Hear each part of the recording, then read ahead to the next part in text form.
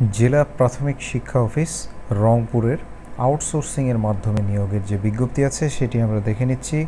এখানে দেখা যাচ্ছে যে পহেলা অক্টোবর দু হাজার উনিশ তারিখের এই পরিপত্রের নির্দেশনা মোতাবেক রংপুর জেলায় প্রাথমিক সরকারি প্রাথমিক বিদ্যালয়ে একটি করে সৃজিত মোট চারশো একত্রিশটি দপ্তরি কাম প্রহরী পদে আউটসোর্সিংয়ের মাধ্যমে চুক্তিভিত্তিক জনবল সংগ্রহের নিমিত্তে সংশ্লিষ্ট বিদ্যালয়ের ক্যাচমেন্ট এলাকার স্থায়ী বাসিন্দাদের নিকট হতে উল্লেখিত শর্তাবলী অনুযায়ী দরখাস্ত আহ্বান করা যাচ্ছে।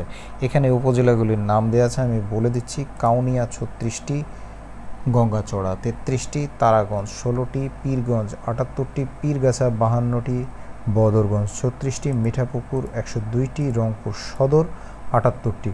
এই হলো মোট চারশো একত্রিশটি দপ্তরি কাম প্রহরী এই পদে আউটসোর্সিংয়ের মাধ্যমে নিয়োগ হবে। আউটসোর্সিংয়ের মাধ্যমে দপ্তরি কাম প্রহরী এই পদে জনবল সংগ্রহের জন্য বিদ্যালয়ের তালিকা, জেলা প্রশাসকের কার্যালয়ে বর্ণিত ওয়েব পোর্টাল বা এই যে এখানে দেয়া আছে, এখান থেকে পাওয়া যাবে। আবেদনকারীকে জেলা প্রাথমিক শিক্ষা অফিসার রংপুরকে সম্বোধন করে নির্ধারিত ফর্মে সহস্তে লিখিত আবেদন করতে হবে। আবেদন ফর্ম জেলা প্রাথমিক শিক্ষা অফিস, রংপুরের web portal DPE dot Rangpur dot gov dot BD এখান থেকে পাওয়া যাবে। আমি ওয়েবসাইটের লিঙ্কটি ডেসক্রিপশন বক্সে দিয়ে দিব। সেখান থেকে আপনারা লিঙ্কটিতে ক্লিক করে গিয়ে আবেদনপত্র ডাউনলোড করতে পারবেন। এরপর প্রার্থীকে অবশ্যই সংশ্লিষ্ট বিদ্যালয়ের ক্যাচমেন্ট এলাকার বাসিন্দা ও বাংলাদেশের নাগরিক হতে হবে।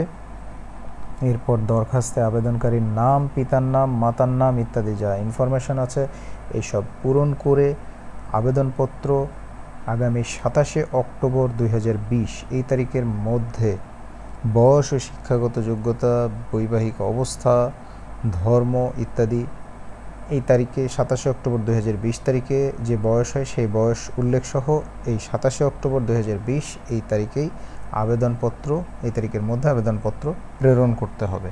প্রার্থীর বয়স সাতাশে অক্টোবর দু হাজার বিশ তারিখে আঠারো থেকে ৩০ বছরের মধ্যে হতে হবে। মুক্তিযোদ্ধা কোটার ক্ষেত্রে বয়স বত্রিশ বছর পর্যন্ত শিথিলযোগ্য। প্রার্থীর সর্বনিম্ন শিক্ষাগত যোগ্যতা অষ্টম শ্রেণি পাস আবেদনপত্রের সাথে জেলা প্রাথমিক শিক্ষা অফিসার রংপুর এর নামে সোনালী ব্যাংকের কর্পোরেট শাখা হতে রংপুরের অনুকূলে একশত টাকা মূল্যের ব্যাংক ড্রাফট সংযুক্ত করতে হবে। অসম্পূর্ণ আবেদনপত্র বাতিল বলে গণ্য হবে, কোনো টিএডিএ প্রদান করা হবে না। আমি আবারও বলে দিচ্ছি, আবেদনের যোগ্যতা অষ্টম শ্রেণি পাস পদের সংখ্যা অনেকগুলো আছে, কিন্তু এখানে যে উপজেলাগুলোর নাম আছে, এখানকার স্থায়ী বাসিন্দা হতে হবে। বাসিন্দা হলে তারপর আপনারা এই নির্দিষ্ট ওয়েবসাইট থেকে ফর্ম ডাউনলোড করে আবেদনপত্র প্রেরণ করতে পারবেন সাতাশে অক্টোবর দু হাজার বিশ তারিখের মধ্যে। সুতরাং যারা যোগ্য আছেন, তারা যথাশীঘ্র আবেদন করবেন। সবাই ভালো এবং সুস্থ থাকবেন সেই কামনায় আজকের মতো বিদায় নিচ্ছি।